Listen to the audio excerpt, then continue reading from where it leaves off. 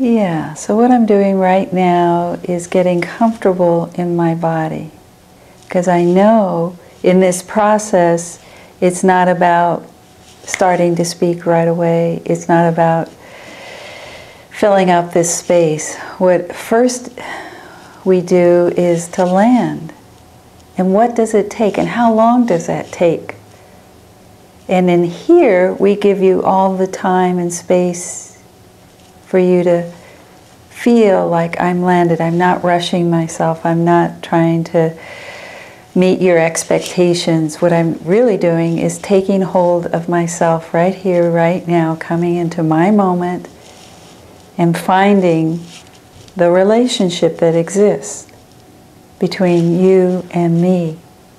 And I'm paying attention to you, paying attention to me.